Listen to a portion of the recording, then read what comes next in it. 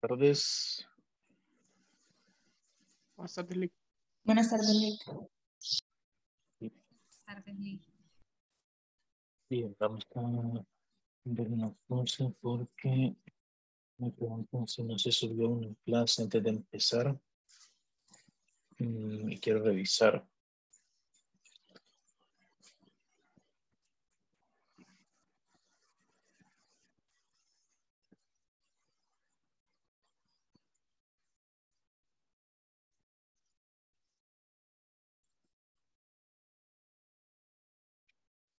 Mm,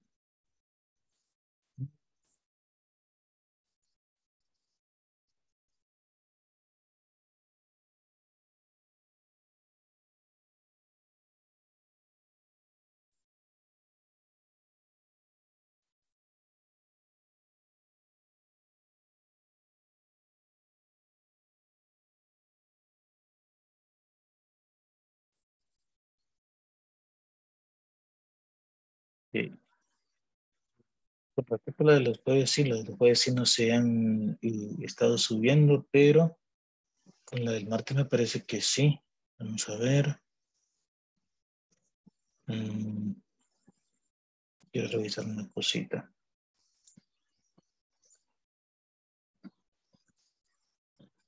Martes fue 21.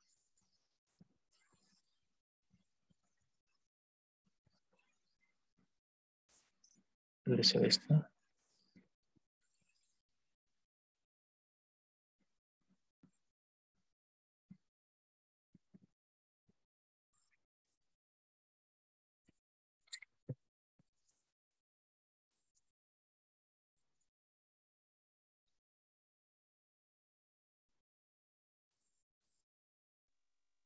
Sí, creo El martes está, creo. Sí, sí, estaba revisando exactamente cuál era la del martes y sí, sí está, está subida. Sí, está subida. De hecho, lo que hace falta, que me acabo de fijar, es la, la pizarra de la clase del miércoles, en realidad. Acabo de fijarme que no está subida. Ahorita, en un par de clics, ya la subí.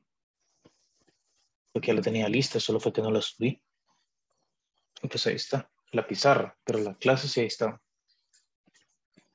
Ok. Bien, entonces para esta semana tenemos eh, la prueba, ¿verdad?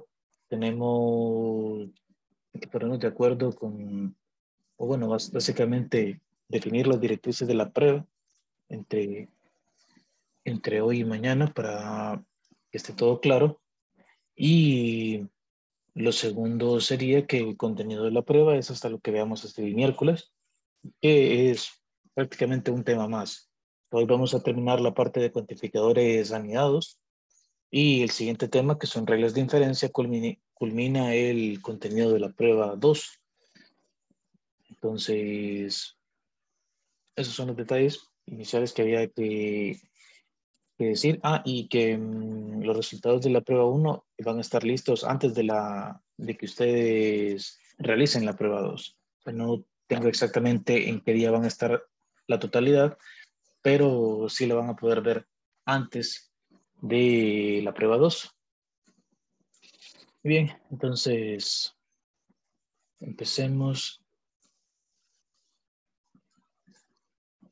Ok, hoy hemos estado practicando sobre cuantificadores anidados.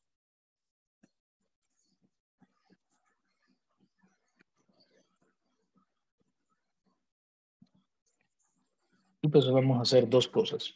Primero vamos a ver unos cuantos ejemplos de proposiciones con dos de, de predicados con dos variables cuantificadas. Vamos a examinar eh, si son verdaderas o falsas. Y vamos a, mm, a estudiar cómo hacer negaciones de cuantificaciones anidadas.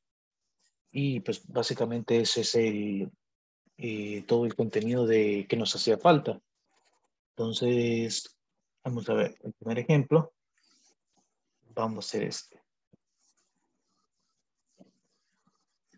Considere Q de X, y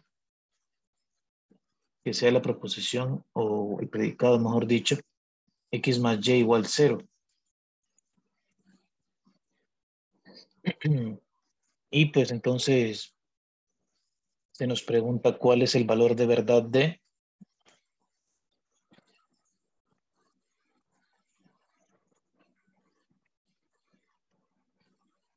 para todo x existe un y, tal que q de x, y, y o sea, este y es como otra proposición, no una conjunción, y existe x, tal que para todo y, q de x, y. Pues vamos a examinar esas dos proposiciones de forma inicial. Entonces, vamos a ver. Vamos a resolver. La primera proposición de las que está, de estas dos que tenemos que evaluar, es para todo x existe y tal que q de x, y. O sea, estamos diciendo, ah, por cierto, faltaría algo aquí. Dominio. Dos reales para las dos. Entonces, aquí estamos diciendo que para todo número real X existe un número real Y tal que X más Y es igual a cero. Entonces, esto quiere decir que esto va a ser cierto si, sin importar qué valor de X yo escoja, yo puedo encontrar un valor de Y tal que me cumpla esto. Y pues estamos bastante claros de qué valor sería. Sería el opuesto eh, de X, o sea, el eh, negativo X, ¿verdad? Entonces, ¿cómo vamos a comprobar de que esto es verdadero? Bueno, vamos a decir, sea X un número real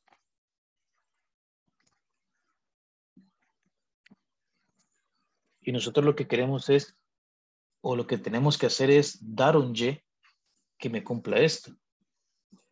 Obviamente, lo, nuestro instinto de álgebra nos dice que si yo tengo que x más y es igual a 0, entonces x sería igual a menos y. Perdón, y sería igual a menos x. Por simple despeje. Pero saber hacia quién despejar es, es parte del problema aquí. Entonces, sea x un número real,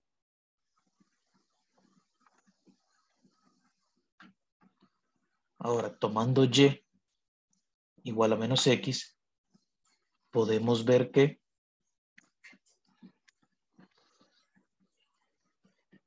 x más y es igual a 0.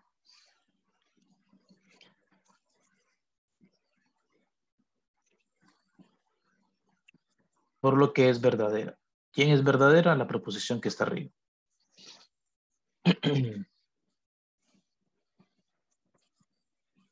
Ahora, un detalle importante para que podamos dar este paso a decir por lo que es verdadera es que el X que estamos tomando está dentro del dominio. Si aquí, por ejemplo, el dominio de X fuesen los reales, eh, los reales positivos, o bueno, sean los reales para X, pero para Y fuesen solo los reales positivos, entonces esto ya sería falso. Porque si yo me doy un X que sea negativo, el y que me cumple esto de acá arriba no está en el dominio que yo quiero, que son los reales positivos. Si yo me doy un x positivo, el y tiene que estar en los negativos. Por lo tanto, aunque sí va a cumplir esto, no está en el dominio de interés, por lo tanto la proposición sería falsa.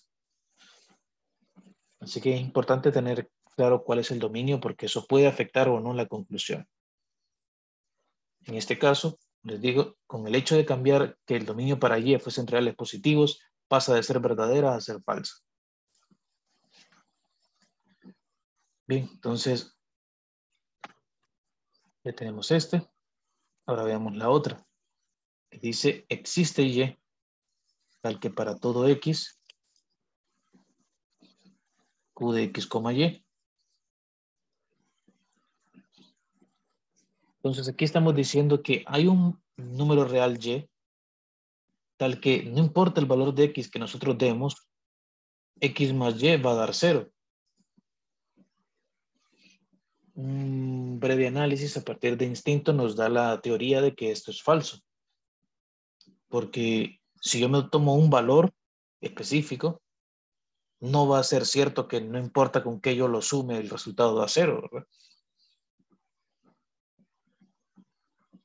Entonces, dígame. En el planteamiento del enunciado no estaba al revés. Ah, bueno, sí, eh, sí está al revés, aunque... Pero es más interesante ese que puso ahorita. Sí, sí, es que creo que aquí arriba de hecho me equivoqué, pero técnicamente son proposiciones equivalentes, debido a que no afectaba tanto el hecho de qué elemento fuese el que, el que existía, si era X o era Y. Tiene razón, hay un error, aunque serían equivalentes, vale, vale la pena decir. Pero examinemos este caso, tal como lo escribí aquí. Para ver eh, que el orden de los, de los cuantificadores realmente importa. ¿Sí? Entonces, tenemos la teoría de que es falso. ¿Cómo lo vamos a comprobar? Ahí está la, la parte interesante. Nosotros tenemos que, para comprobar que una existencia es falsa, porque otra cosa interesante es que, no sé si se las llegué a mencionar la última clase, pero es que a pesar de que aquí tenemos cuantificaciones, es como que este cuantificador aplica a toda esta proposición o todo este predicado. Entonces, este es un predicado porque aquí hay un cuantificador con respecto a la variable x, pero la variable y no tiene cuantificación, así que queda libre. Es como si usted hace un, eh, si ya llevo cálculo, si usted hace un integral, de hecho, cálculo 2, si usted hace un integral de una función de dos variables y la integral es definida y la hace respecto a x, le va a quedar una función de y. O sea, esto. Si usted hace una integral definida, con respecto a x de una función en dos variables, lo que le va a quedar es una función de y. Lo mismo sucede aquí. Si usted aplica un cuantificador con respecto a la variable x para un predicado que tiene dos variables, pues lo que le va a quedar es un predicado solamente en la otra variable. Lo mismo sucede aquí. Entonces, si yo quiero comprobar de que esta, de que esta existencia es falsa, yo tengo que comprobar que para todos los valores de y, yo puedo encontrar un X para el cual no va a cumplir. Para hacer este análisis lo que hay que hacer es revisar la tabla que estudiamos la última clase.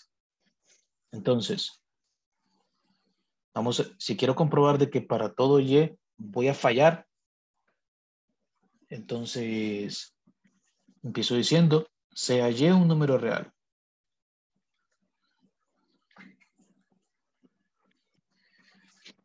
Y lo que quiero comprobar es que voy a encontrar un valor para el cual esto no se va a cumplir. ¿Ok?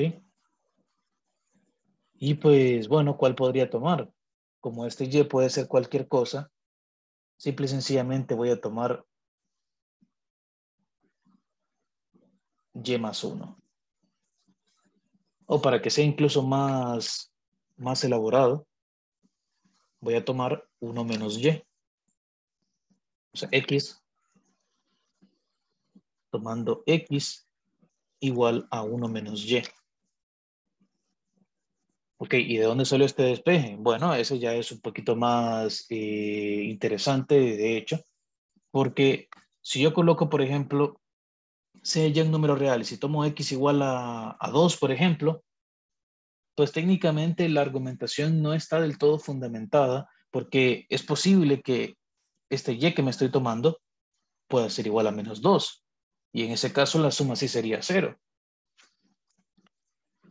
Entonces no puedo colocar aquí solamente un valor particular porque dentro de todas las posibilidades que estoy permitiendo al decir que va a ser un número real, pues está la posibilidad de que estoy eligiendo un número aquí de tal forma que sí haya un término para el que se cumpla.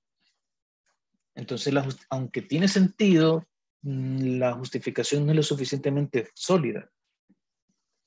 Porque es como que usted vea un muro en el cual vea que uno de los ladrillos de la parte de abajo está rajado. Usted no va a ir a apoyarse con toda seguridad y no va a dejar caer algo o va a reposarse sobre ese muro porque existe la posibilidad de que se caiga. Entonces, no nos podemos arriesgar a que uno de los valores que nos demos por probar aquí sea exactamente el, el que va a hacer que esto no se cumpla. Pero si yo construyo un X que dependa del Y y aún así haga que esto no se cumpla, ahí sí podría yo garantizar de que no importa el valor que pongamos aquí, el resultado que voy a escribir a continuación va a ser cierto. Entonces, sea y un número real, tomando x igual a y y 1 menos y, podemos ver que x más y es igual a 1 menos y más y, sea igual a 1. Y esto es distinto de 0. Entonces, yo he encontrado que sin importar el valor de y que yo, que yo escoja aquí, yo puedo encontrar un x para el cual no se cumpla esto. Por lo tanto, esta, por lo tanto, la proposición es falsa.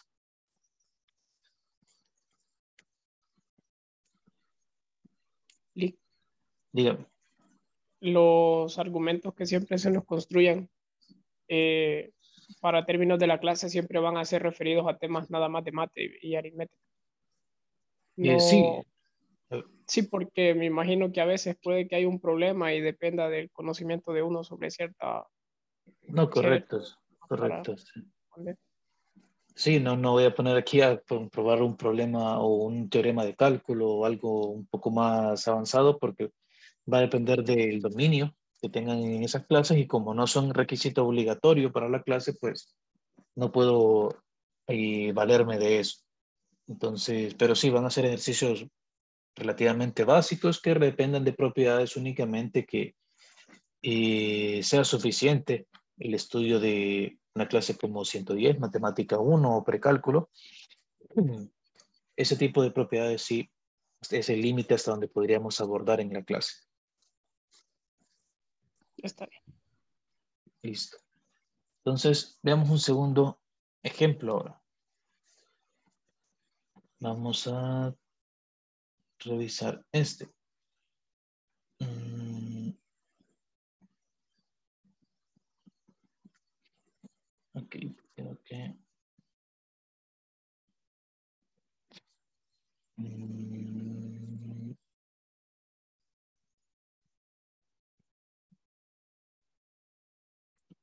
Voy a escribirlo así.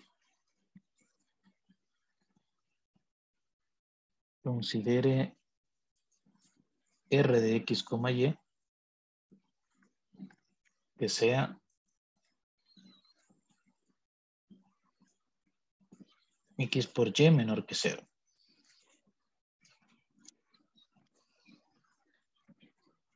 Entonces aquí vamos a hacernos el mismo estilo de preguntas cuál es el valor de verdad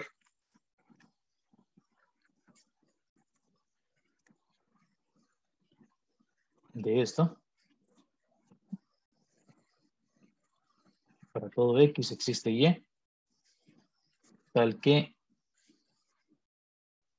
R de X, Y. Y el otro, el de existe Y, tal que para todo X R de X, Y. Y vamos a hacer el mismo análisis. El dominio. Correcto. Y de hecho el dominio aquí es bastante importante. Entonces vamos a dejar como dominio mm,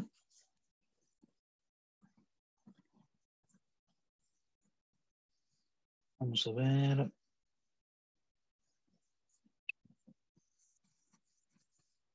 Vamos a ver como dominios los reales otra vez.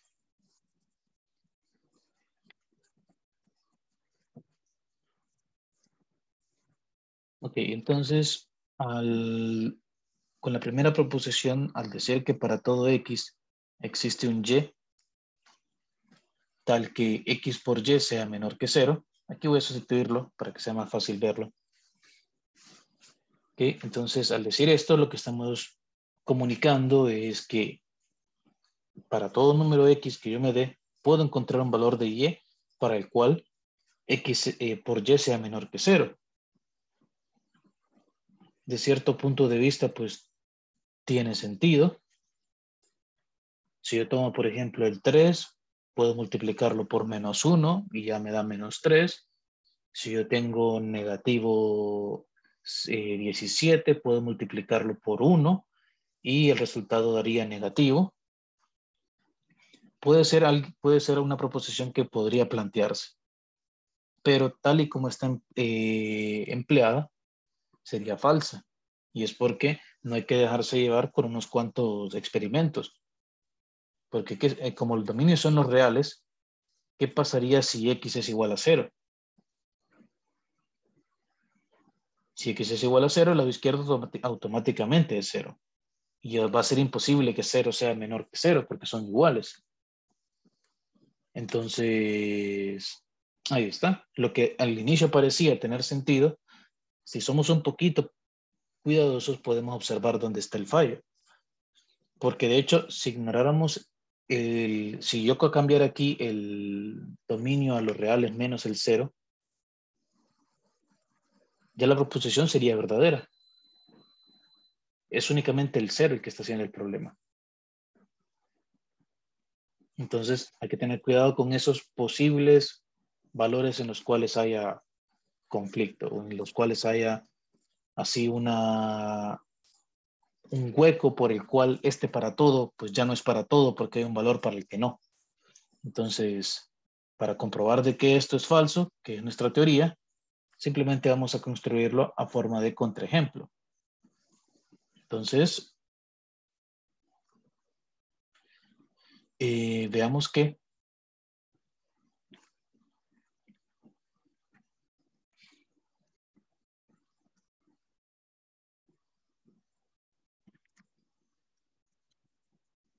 Mm, dado cualquier Y, cualquier número real Y,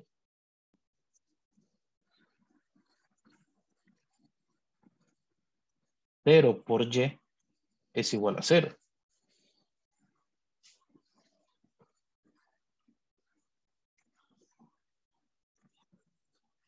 Por lo que 0 por Y mm, bueno, en simbología aquí quedaría un poco raro. Eh, porque lo que, lo que quiero decir es esto, no es menor que, que cero. O sea, la simbología es permitida, poner una negación de un menor, de un menor es permitido, solo que queda un poco raro, pero podemos decir que es mayor o igual, que sabemos que es igual a la negación de esto, esto.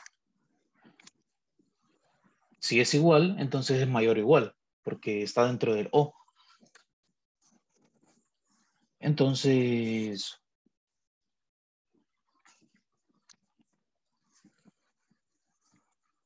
así, x igual a 0 constituye un contraejemplo.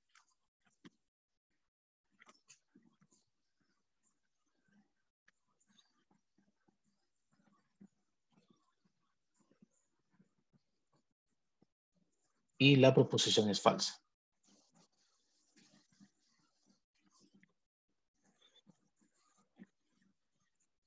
Importante es aquí tener el fundamento de por qué estamos diciendo esto. Porque dado cualquier número real y, 0 por y es 0. Esa es la propiedad del elemento neutro. Bueno, sería la propiedad absorbente del 0 en sí, no del elemento neutro la propiedad absorbente del cero con respecto a la multiplicación. No hace falta justificarlo, pero pues saber de qué está fundamentado. No podemos decir, ah, es que esto lo podemos decir porque se cumple para todo. Hay una justificación detrás. Y pues en este caso, como es tan simple, no hace falta decirlo. Ok. Dígame. Solo por esa razón, entonces sería falsa y si fueran dos positivos también ya hace que sea mayor que cero, ¿verdad? Eh, ¿Cómo hace la parte de dos positivos? Si me puede repetir. Que, ¿Cómo le explico? Que es la única razón que le hace falta, falsa la preposición es multiplicando un cero por y. Correcto. Sí, o sea, la cuestión aquí es que cuando nosotros queremos comprobar de que un, un enunciado de esta forma es falso, como empieza con un para todo, para demostrar que es falso, habría que construir o dar un contraejemplo. O sea, tendremos que encontrar un valor de, todos los que hay para el cual esto no se cumpla.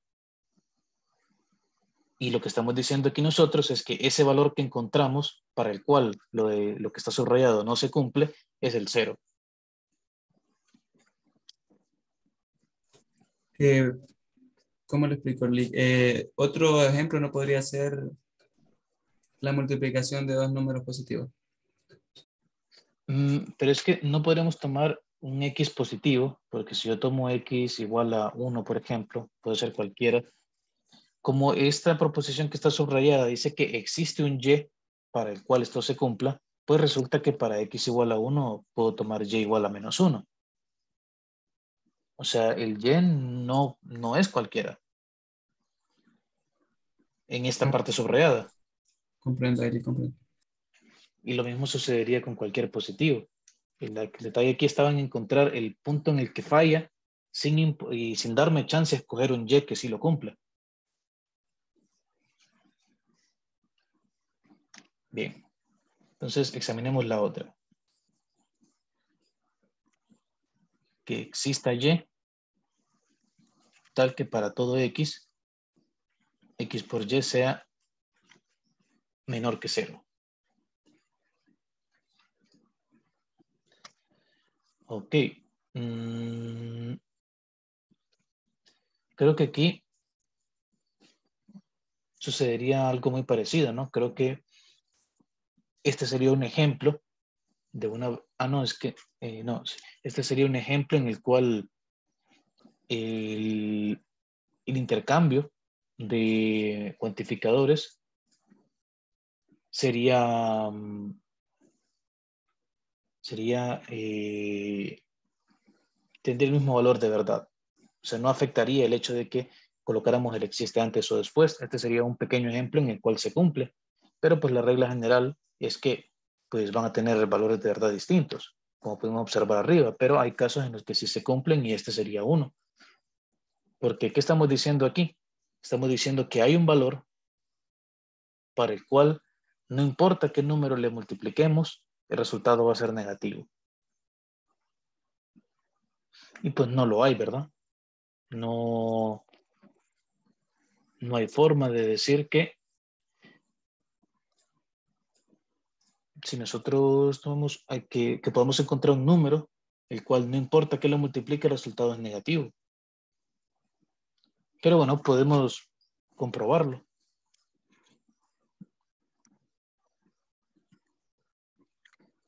O simplemente, digamos, queremos comprobar de que esto no se va a cumplir porque nuestra lógica nos está diciendo de que no va a ser posible. Entonces, para argumentarlo, vamos a decir, eh, como quiero comprobar de que un cuantificado que empieza con existencial es falso, pues que, tendría que argumentar que para todos los valores lo subrayado no se va a cumplir. Note la diferencia entre esto y lo de arriba. Arriba como era un universal, lo que comprobábamos era encontrar un valor para el cual lo subrayado no se cumple. Y aquí que es existencial, estamos encontrando, o mejor dicho, estamos comprobando para todos que lo subrayado no se cumple.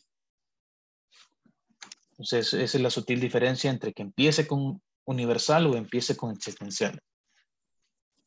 Bien, entonces, mm, sea y cualquier número real. Así tendríamos que empezar para decir que estamos hablando para cualquier número y. Entonces, lo que hay que comprobar es que X de que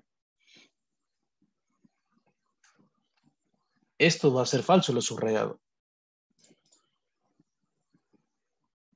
Ok, si lo repetimos, no hay problema. eh, cuando tenemos cuantificador universal y queremos comprobar que es falso, lo que hay que hacer es encontrar un valor para el cual lo subrayado sea falso. Por otro lado, cuando empieza con existencial y queremos comprobar que es falso, lo que hay que hacer es comprobar que para todos los valores de y, lo subrayado es falso. Bien, entonces aquí nos damos cualquier valor de y y así el resultado va a ser válido para todos, si me doy un número cualquiera. Y pues yo quiero comprobar de que esta cuantificación universal es falsa para todo valor y. Entonces,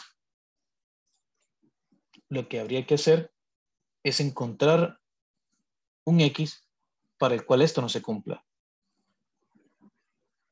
¿Ok? Entonces, ¿quién podría ser un candidato para el cual esto no se cumpla? Que el multiplicar x por y no fuese menor que cero. En otras palabras, x por y sea mayor o igual que cero. A ver, creo que alguien lo iba a mencionar. Cero.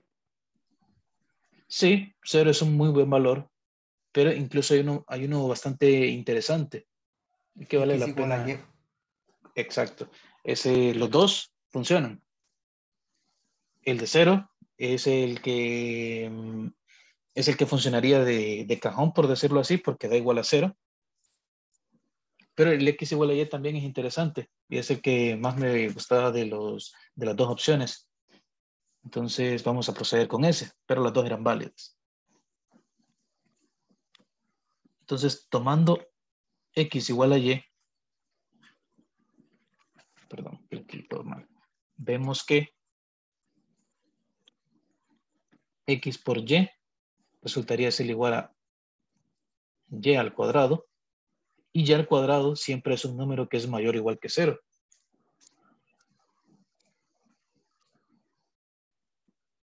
Bueno, en sí tomamos x igual a y por, porque sabemos esta propiedad de aquí. Porque si tomáramos x igual a y, sabemos que voy a obtener como resultado al hacer esta multiplicación un número mayor o igual que cero. ¿Correcto?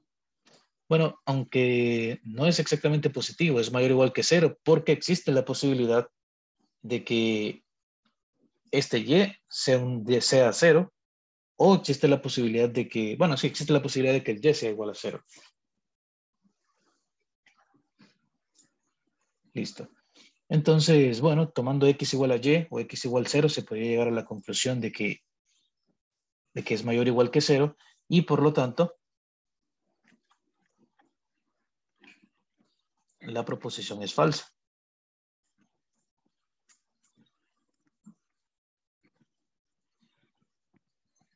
Vea que prácticamente lo que estamos haciendo aquí es tomando el análisis de, mm, el valor de verdad de proposiciones cuantificadas con solo con una y lo estamos extendiendo a dos.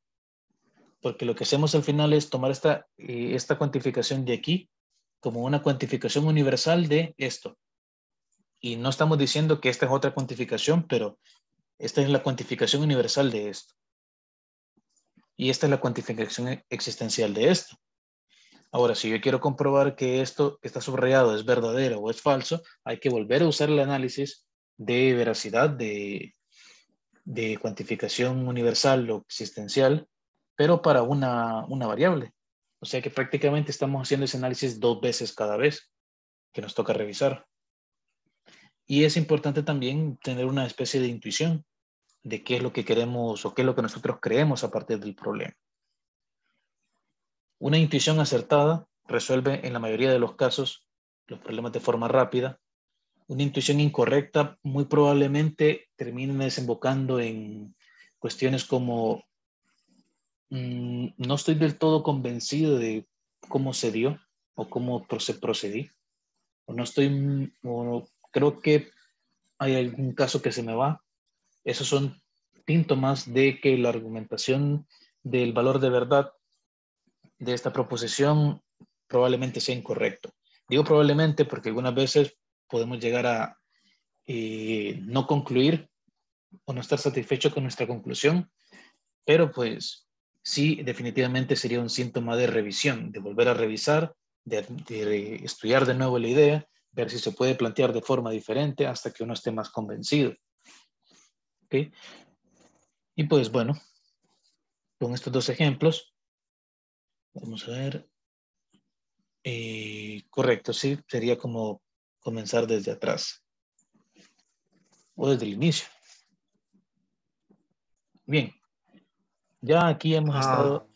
Dígame. Licenciado, solo bueno, solo como una pequeña recapacitación. Entonces, en el último ejemplo, bastaría con encontrar un solo número para y, para el cual cualquier x que se le aplique siempre va a ser menor que cero para comprobar que fuera verdadero. Sí, decir, sí. Si esto fuese una proposición verdadera, lo que habría que hacer es encontrar un y y comprobar que con ese y todos los x cumplen esta propiedad. Mm, Está bien. Muchas gracias. Listo. Y bueno, ya con respecto de los nervios, pues eh, es un tema complicado. A veces hay que intentar jugar con el tiempo y, y ver si un respiro de dos minutos puede ayudar a liberar esa tensión, ¿verdad? Pero pues también son dos minutos que, que uno se pierde, ¿verdad? Pero a veces es necesario.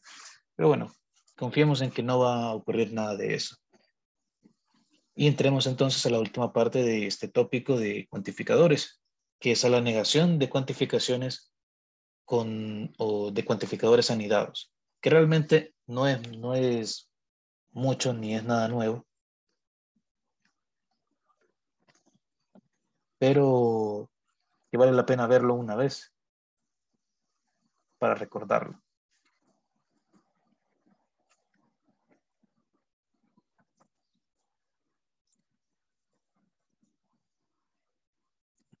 Ok.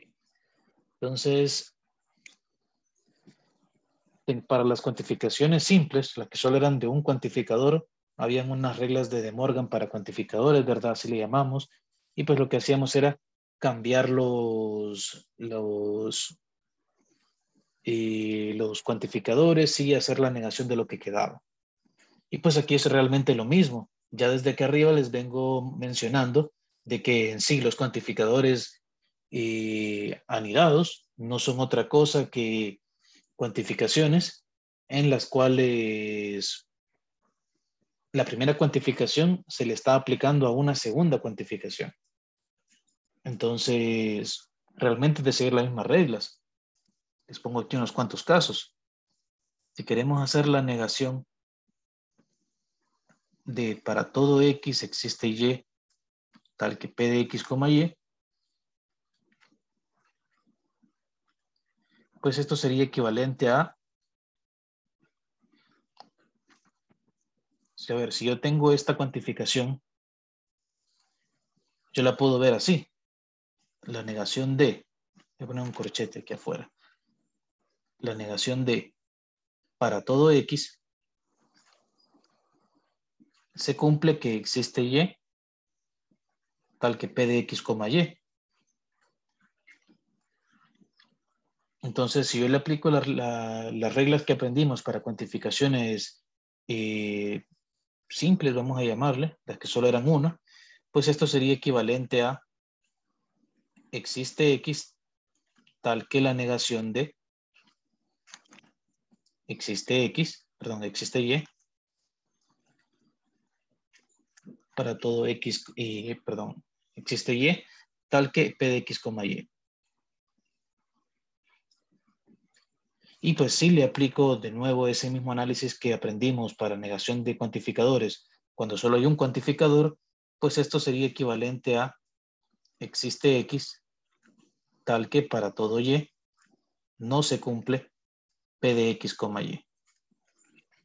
Y pues la regla con la que se tienen que quedar es con esto. La negación de una cuantificación de, de esta forma, pues si se fijan es intercambiar o mejor dicho, cambiar por el otro cuantificador, si hay un para todo, pasa a ser un existencial, si hay un cuantificador existencial, pasa a ser uno universal, y la negación pasa a ser parte del predicado. Entonces, esa es principalmente la regla en negaciones de cuantificadores anidados. Todos y cada uno de los cuantificadores intercambian su intercambian con el dual, podemos llamarlo, es decir, los universales cambian con los existenciales, los, los existenciales cambian con los universales y la negación pasa a la parte interna, que es la del predicado. Podemos hacer exactamente el mismo análisis, o bueno, no exactamente el mismo análisis, sino un análisis análogo, es la palabra correcta, cuando lo que tenemos es algo así. Existe X tal que para todo Y, P de X, Y. Entonces, esto sería equivalente, según la misma, un análisis parecido a lo de arriba.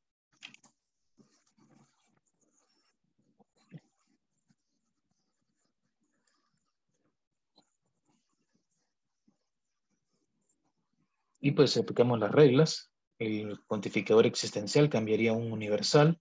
Queda la negación de esto.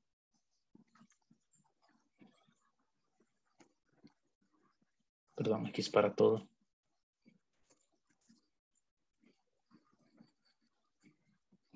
Y pues eso último sería equivalente a para todo X existe Y tal que la negación de P de X, Y. Y el resumen, la, la idea es la misma. Intercambiamos el cuantificador por el otro, el existencial al universal, el universal al existencial, y la negación pasa a ser parte del el predicado.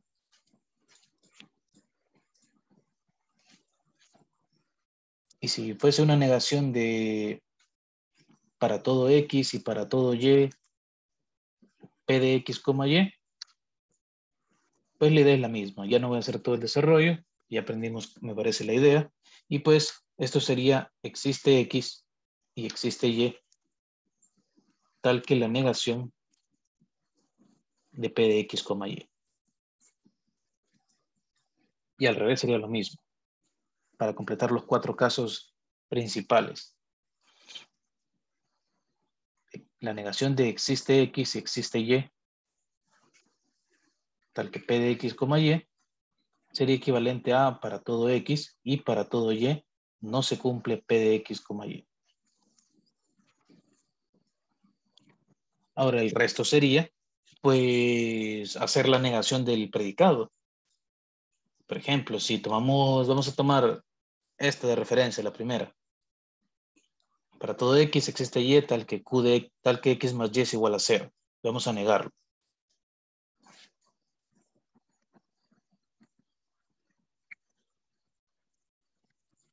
Entonces, ejemplo 1, la negación de para todo x existe y tal que x más y es igual a cero, pues esto sería equivalente a que exista un X tal que para todo Y, X más Y, bueno, si quisiéramos hacerlo en pasos, diríamos la negación de X más Y igual 0. Y en el último paso escribiríamos existe X tal que para todo Y,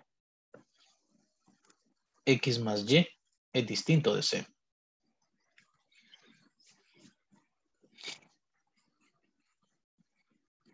Y pues si el dominio son los reales al igual que arriba, podemos ver de que esta proposición sería falsa.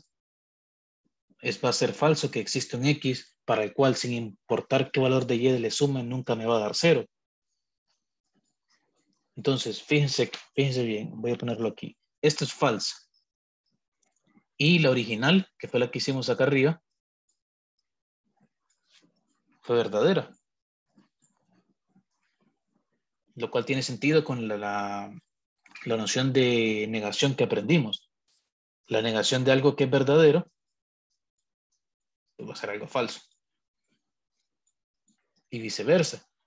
Aquí, para esta otra, nosotros dijimos que esto, llegamos a la conclusión de que era falso. Por lo tanto, cuando construya la, eh, la negación, debe de quedarme algo verdadero. Entonces, vamos a ver. Escribamos, esto sería un ejemplo 2. la negación de existe y tal que para todo x, x más y sea igual a cero. Esto sería que para todo y exista un x para el cual x más y fuese distinto de cero.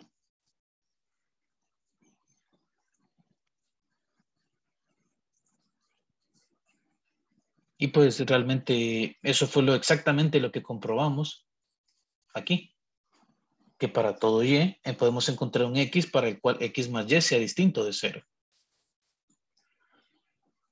Y aquí les viene el truco. Yo pude fácilmente comprobar que, estas eran, eran verdaderas, o mejor dicho, pude saber cómo comprobar las, eh, cuando tenía la sospecha de que eran falsas, para saber cómo comprobar las falsas, hay que comprobar que las negaciones son verdaderas. Ese es el truco ahí. Porque fíjense, ¿qué hicimos para comprobar que esto sea falso? Pues, vamos a ver. Permítame copiar esto para no estar moviendo mucho la pantalla. Voy a copiar esto y lo voy a llevar abajo, solo para que lo vean.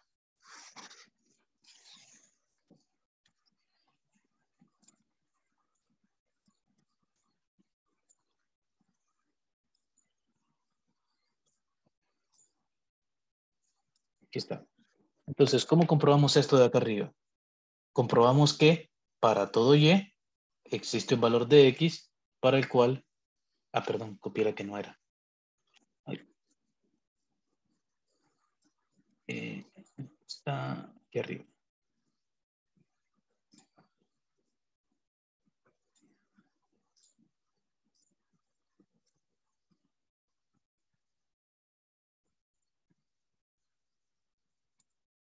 Ahora sí.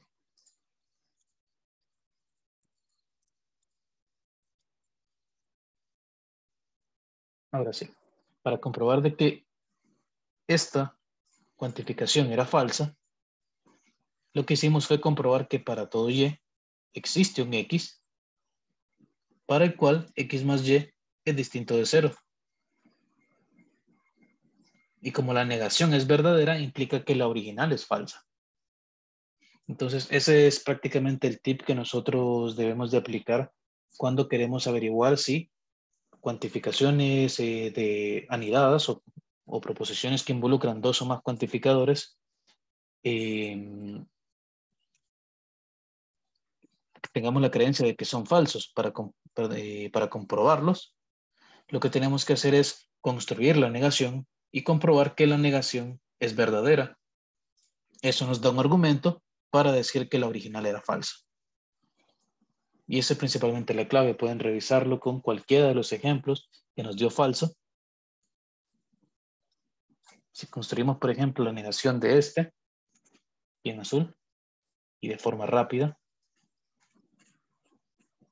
la negación sería, existe X tal que para todo Y, X por Y es mayor o igual que cero. Que mayor o igual que cero sería la negación de esto. Entonces, fíjense qué fue lo que hicimos para comprobar de que era falsa.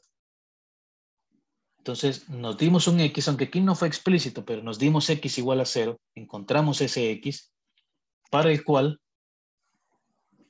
dado cualquier Y, esto no es otra cosa que para todo Y, X por Y es mayor o igual que cero. Eso fue lo que hicimos.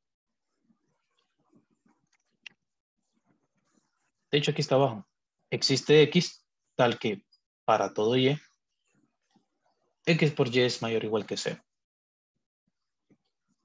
Eso fue lo que comprobamos. Y en esta de abajo, más de lo mismo. Aquí es para todo Y, existe X tal que X por Y es, es mayor o igual que 0. Entonces revisemos. Para todo y, existe x para el cual x por y es mayor o igual que 0. Entonces, ahí estaba la clave. Solo que no se los dije al principio, porque me interesaba ver el análisis de forma inicial y luego explicárselo de forma sencilla. ¿Ok?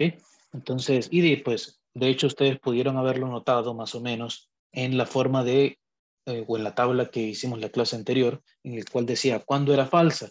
Y resulta que lo que aparecía ahí se parecía mucho a cuando otra que era más o menos parecida era verdadera. Entonces había una cierta relación ahí que no les dije de forma explícita, pero que aquí aparece a partir de estas propiedades de negación. Entonces la clave es así, con eso vamos a cerrar la clase de hoy. Para comprobar que son verdaderas, se hace tal cual, tomándola de ahí. Para comprobar que son falsas, mejor construimos la negación y comprobamos la negación. Entonces, vamos a quedarnos hasta aquí. Mañana trabajamos tema nuevo, mañana es reglas de inferencia. Vamos a tardar unos dos días en revisar eso. Y pues es el último tema de la prueba. Y por lo demás, no sé si hay alguna pregunta.